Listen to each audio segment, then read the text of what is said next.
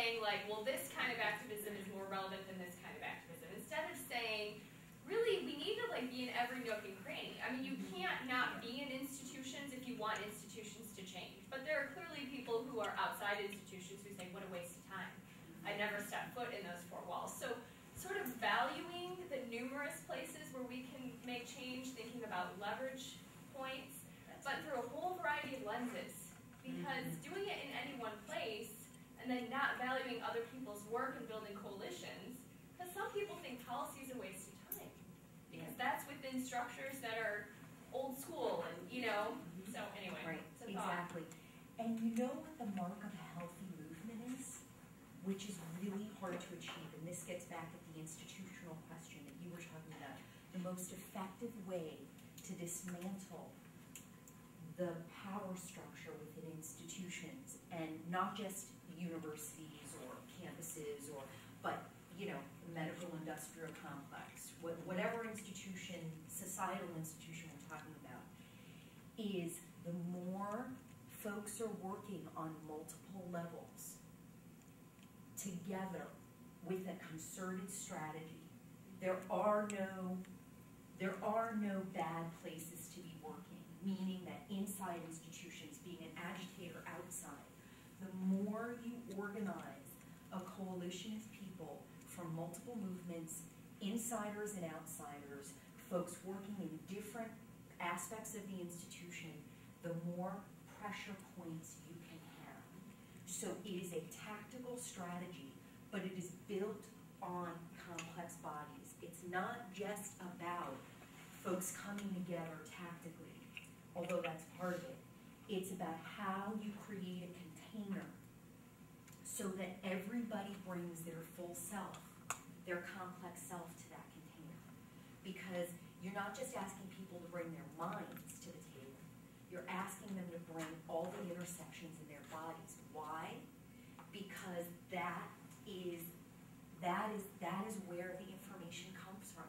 If you don't have people who have experienced those conditions at the table, speaking from within their bodies about the conditions that exist within those institutions that they're facing. That's, that is where, we say it here, those conditions are what nourish the vision and values to help develop and build a strategy. So it comes from right inside the body. We don't have to make it up. Yes. You know, I just have this vision all of a sudden from the movie Avatar. yeah, remember when they all went to war? Yeah. Everyone came. Everyone came. Yeah. And yeah.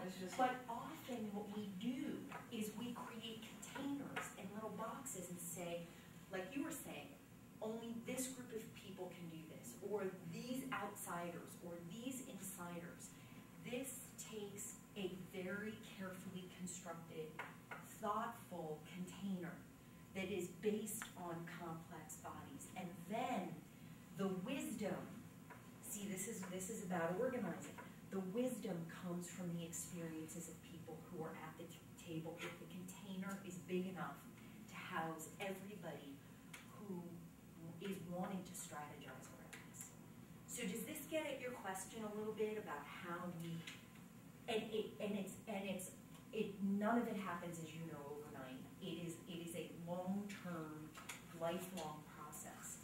but the more sophisticated the container, in terms of holding complex bodies, the more the wisdom gets generated and the more dismantling that can be done. Do you see this right now Do I see it yeah. anywhere? Right. Oh, yeah. I mean, can you tell us where you, a little bit about that? Oh, yeah, like where around the country yeah. I see it? Yeah, I see it actually, there's this really interesting, a couple of places where it's happening. There, it's called the Roots Coalition, and it is a cross-movement group of folks who um, are funded by the Astraea Foundation, which is a social justice foundation based in New York. And they convene a group of grantees um, across movements, mostly people of color-led organizations, reproductive justice, LGBT, environmental justice, etc.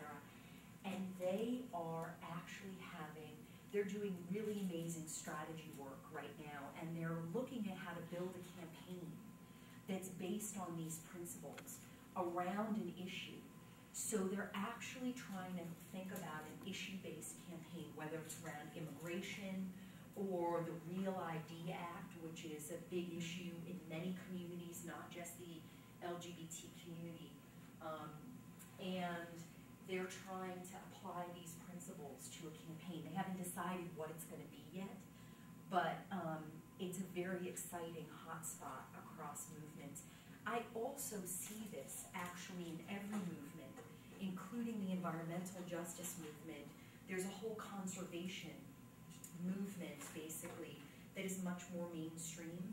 But a lot of the smaller reproduct, I mean, the smaller environmental justice groups headed by people of color or multiracial groups of folks are organizing around things like Katrina or the Gulf Coast. They're really on the ground doing uh, the oil spill, all of that. They, they're really on the ground doing that kind of cross coalition building. So it's happening, but you know where it's happening, not on the national level. Because the national groups, all of them, are stuck more in a rights frame, and they're, which is important, but they're very divorced from the folks that are working on the ground in these coalitions that are cross-cutting, actually. So there's a whole body of work out there that doesn't get visibilized, because what you see is, for example, in the LGBT movement, the mainstream agenda, don't ask, don't tell, hate crimes, and the Employment Non-Discrimination Act. And you think that's the only thing the LGBT movement is working, mainstream legally is, is working on. But there's so much more. So the question is who controls the agenda, right? And who gets to set it? You know, so for many of us, we see Katrina and the oil spill as an LGBT issue. Many of our mainstream LGBT organizations at the national level would fundamentally disagree and say that there's nothing related to the oil spill that has anything to do with the LGBT community. Although LGBT workers are dying and getting sick from the oil spill, people are losing their job, LGBT people are losing their jobs. So we have this challenge, you know? So I don't know if these are concrete examples Yes. for you. Yeah. Other thoughts and questions about the values piece and the strategy piece here? Any reflections? Yes, Colette? Okay, well, so Lisa's my good friend, so I'll play devil's advocate with you on that one. Yeah, Okay, so you and I go back and yeah, forth. go ahead. I'm gonna disagree with you on that strategy. And so the position that I will hold is, we have to go for Don't Ask, Don't Tell and ENDA. Yeah, we do. And the reason is, high visibility, Agreed. move it forward. If we're down in the Gulf, doing the Gulf spell with other groups, that's valuable work, but is it as impactful and powerful in changing culture? Mm. And I love you. And I love you too. oh, I love you too. And I think this is great. I think it's a both and. And I think it's back to this conversation earlier. What I think there, every, every group in the, for example, the LGBT a role to play. What we don't do is value.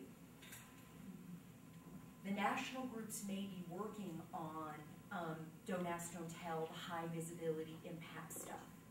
But they often don't value the groups at the grassroots level that also support this work and are doing other kinds of work that they also see as LGBT work at the same time.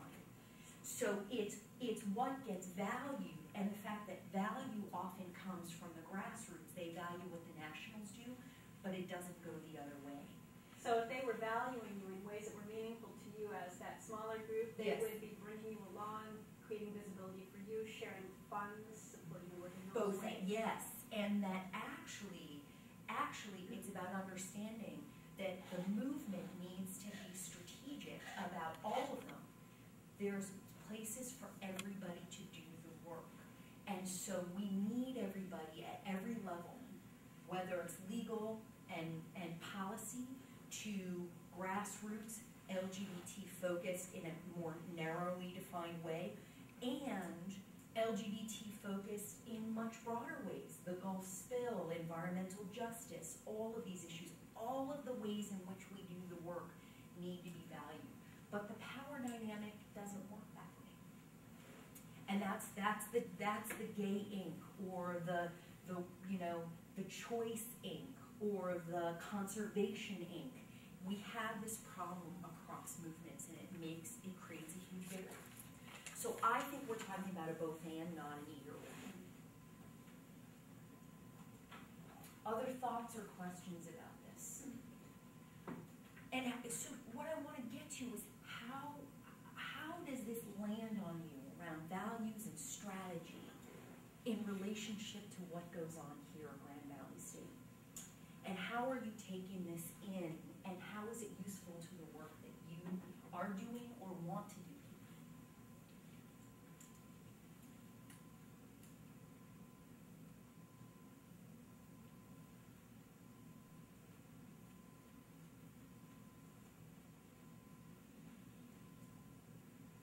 Question. Yeah. I guess for me, it's hard to picture myself being a pressure point within an organization. For example, I'm going into medicine, and that's a field where LGBT is not okay to work in medicine. You're being mm. very personal with people. And so, like we were talking in our group, sometimes there are areas like in West Michigan, it's so challenging to be an advocate for that and kind of a peer pressure for the rights within the organization when there are already kind of bubbles within the states that I could move to and be safe and kind of Yes. hide from that. Difficult for me to be like, okay, I can I can get my master's and run a lab or run a hospital and influence this change, but I could also get my master's. If they find out that I'm a gay man and fire me, and like Right. a decade's worth of work for me is done. That's right. And that's real. Yeah. Absolutely. Absolutely. So how do you all wrap your mind around the, the reality of the, the challenges and opportunities of doing, doing this work? When the costs can be as high as what you just described.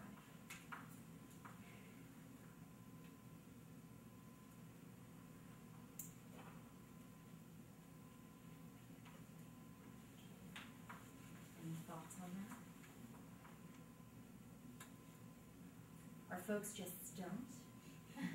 No, no, or just contemplate it, yeah, Milt, oh, yeah, Connie, Um, I'll come right back to you, Milt. the way that I see things at the university here is, you know, we have limited resources. And at the end of the day, decision has to be made on how to allocate this, these limited resources. So in a way, you know, different units and departments competing for the same resource. And even if we are working for the same university, we have clash in values or maybe the misalignment in values. Uh-huh. Okay, Yes. so in order for us to move in the same direction, we have to align these values. So that my values are not competing or clashing with your values or the university's values. That at the end of the day, the resource and the, you know, um, services can be located to what I'm trying to do with my values Mm-hmm. or the values that I'm trying to accomplish. Mm-hmm. So I think in my mind, it has to do with how can we align all of these values so that we are moving in the same direction and get the buy-in from, you know, the high ups. Uh-huh. So does that also mean, similar to an exercise that we just did here, is having conversations, open conversations about, well, what are our shared values? I mean, do you think that those are important starting points for the alignment process? I mean, where would you start? I would probably start with building coalition, Mm-hmm. you know, having people come to the table, um, same exercise that we do here, you know, what are your values? Exactly. And then coming up with some, maybe some group agreements about those values. Yeah. Mhm. Other thoughts, Milt, I know you were, thank you for that. Milt. Uh, Connie was thinking along, I'm more administrative, I'm thinking more along the human resources kind of model. Because the real work is done by people, I mean, you get the resources, you get the grants, you get the budget, but then the, the work is done by people, and I'm thinking that there are two different levels here, there's the, uh, maybe it's the equality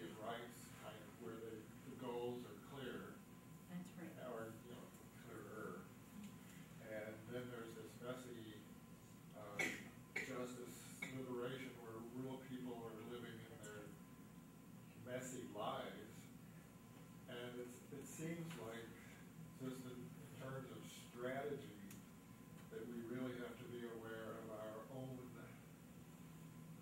messiness and our, our limitations and strengths and all of that That's sort of right. thing as we build toward being more heady or Mhm. ultimate kinds of things. That's We need to be kept together. That's right, that's right. And values, as Connie's saying, values are often the glue and negotiating those shared values. And that's often in coalition building what doesn't get done, is the conversation about values. What people do is they often go right to creating the coalition and then figuring out what box they're gonna put each person in. So you're gonna do this in the coalition, and you're gonna take notes, and you're gonna do this, and you're gonna do that. But what we don't do is have the harder conversation and the glue conversation about values, and then agree upon what values are gonna guide the work. You go to values first and architecture second. And what we often do is we just start trying to slot people into roles and get down to the tasks. Now, the tasks are important, but what ends up happening is we begin to start marginalizing bodies in coalition work and pushing people who want to have a conversation about values or need to because their survival depends on it. Right? Often, the more privilege you experience in your body, the less conversation you need to have about values because the dominant culture represents your values. So it's creating the space to have those conversations and do that work because then it gets embedded in the architecture of the coalition. And that's often the place, that's often the, what doesn't happen. I saw some hands here and back there. Oh, no, no, no problem. We're gonna be wrapping up in a minute. Thanks so much. Thank you very much. Yes. W- When I think about creating the space to have the conversations around values, I don't think necessarily of having a lot of meetings like this that everybody will attend because everybody won't. That's right. I think that there are places that we already can uh, see as potential Hot containers for spots. these uh, um, values conversations, and it's mostly in the hallway that I see it. I mean, I have it easy because I teach in the humanities, so we discuss these things in my classrooms all the time, and that's one place where I think this is, this is my contribution, we're gonna, we're gonna discuss values from these students, so I see the hopefulness of, of future generations. But, but when we're thinking about today, and what do each of us do with our, our lived existence, I keep thinking, standing out in the hallway, we have these opportunities, the, the real, the grassroots nature of it means it's gonna That's happen outside of the boardroom, and That's the, it's like taking the table, we, we, we've said, you know, bring these discussions to the table, I think we have to take the That's table right. to wherever we are. Yeah, absolutely. And that's why I do what I am doing is what you can do. I actually am taking this framework, not just myself, but all of us that have been part of this for the last five years. And we are doing what's called worldview dissemination mm-hmm. in small groups like this around the country. And we are not saying this is the be all and end all. What we're saying is we are wanting to have a conversation with you about a lens and a framework and a worldview and values that we hope not only will generate for us in the moment, but that you can use and then bring to your community and begin generating similar conversations in your community and similar pieces of work. And so part of this is how do you disseminate the framework? And there needs to be a strategy around doing that. I do believe that the more you get thinking like this out, the more energy you build and the more worldview you build in a community, it begins to shift the culture and more and more people will want to sign on to doing this work and move beyond worldview into the architectural work and doing coalition work differently. So you all should be thinking about what you, how you may want to take this out into your classrooms and other things. Yeah. I think though, the difficulty, I'm gonna be difficult. Okay. Difficulty I love you too. framing We're this. good, we're good, we're there.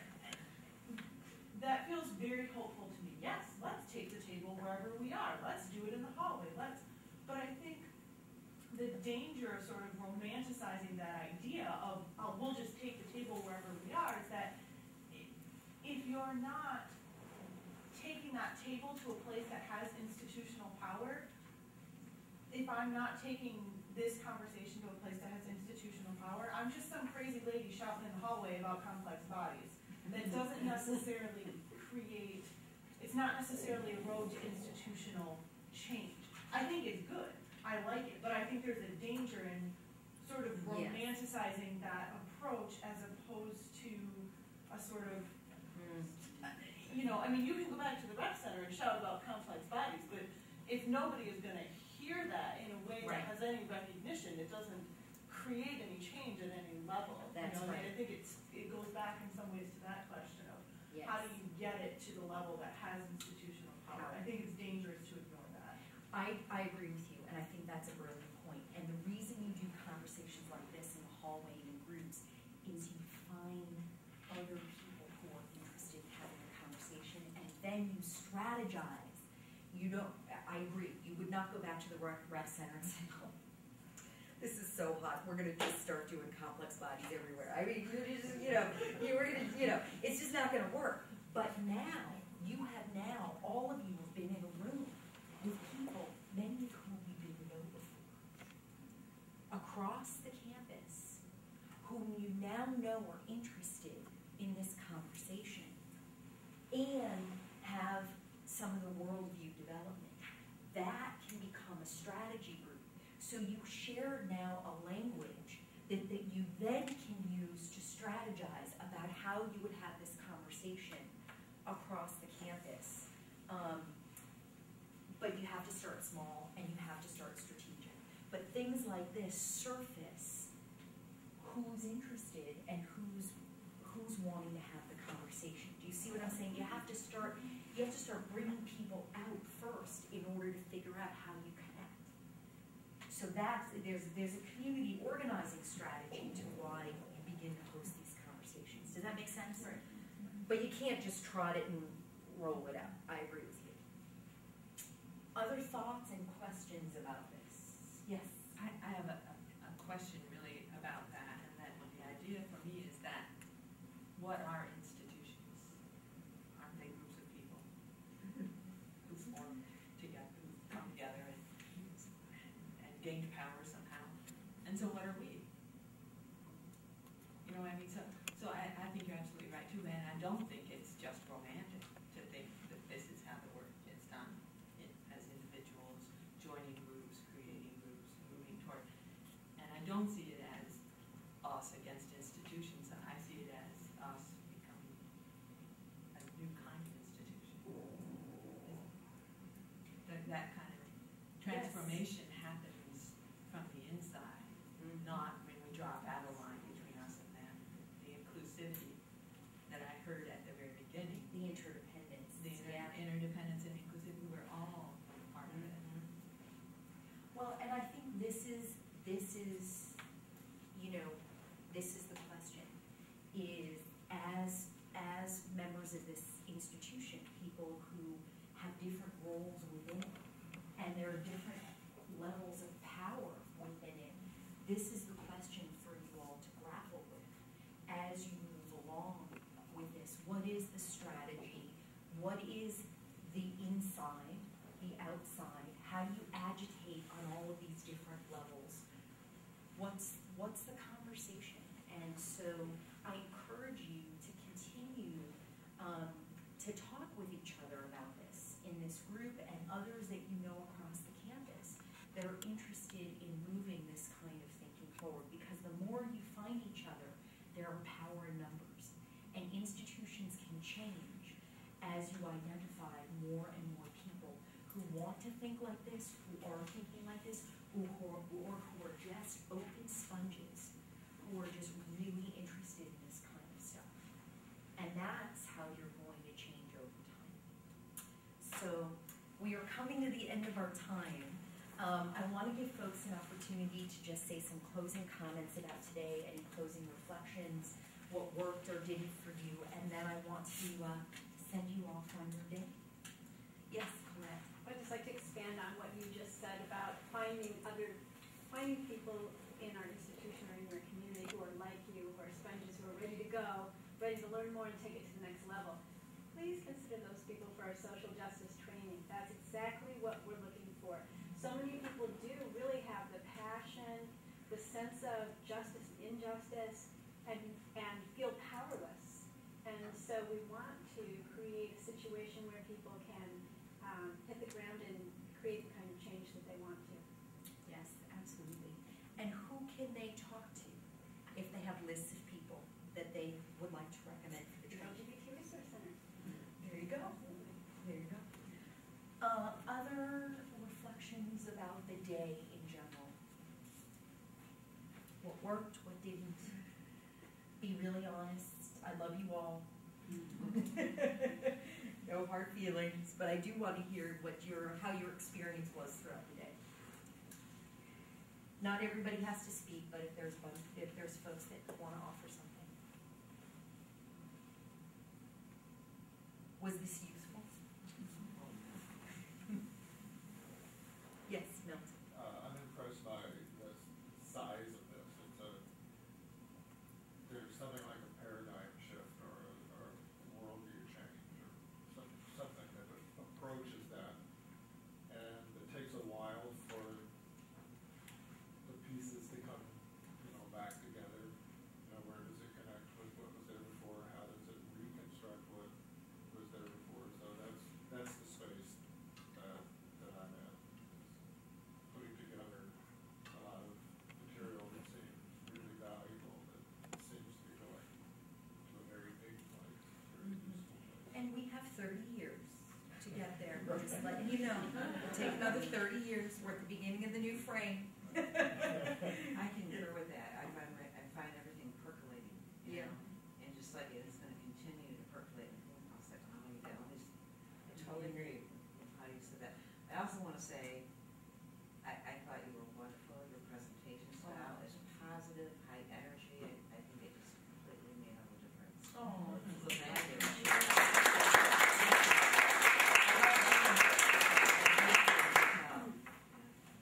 Any other last minute closing thoughts for folks? Yeah, I guess I always feel at the end of a workshop that has seemed really successful, I always feel like the only thing that's, that's not right is it could go longer. Yes. And then there's a next step, and, and I think maybe there's a follow-up workshop on strategizing, because Mhm. do we really know how to do that? Yeah, and this actually, this is an actually multi-day session, and I basically did just the worldview pieces Okay. for you. Um, and so there's a lot more to be done, and then of course, a lot of this will be built into the social justice training. And all of the faculty, there's about twenty-five of us that have been involved with this. You're gonna see a critical mass of faculty that helped to build this here over the next year. Uh, and you'll have opportunities to work with them, think with them, engage with them, so. Right. All right, well, this was a joy and an honor. I want to thank Colette for inviting me, and Milt and Carrie, and I look forward to our continued work together. And I look forward to working with all of you over the next year as I'm back. Uh, I'll be back here quite a bit with lots of friends over the next year, so, um, so, and I'm gonna be sticking around. I'll be here over the next couple of days, so if you have questions or things you want to percolate about or talk about, I'll be mostly located at the LGBT Center, and feel free to come by. Uh, We'll Colette? be sending an evaluation out over email, and we would love to hear Yes. from you. And also, if you would like to meet with Lisa one of the times that she's here, if you have somebody who is interested in social justice training, or a member of a community organization that we need to connect with to be sure to involve community members, um, please let us know, we'll make that happen.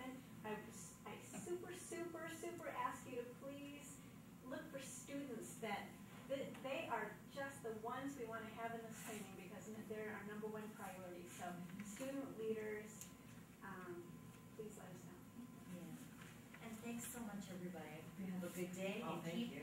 Let's keep talking about complex bodies, okay? Have a day.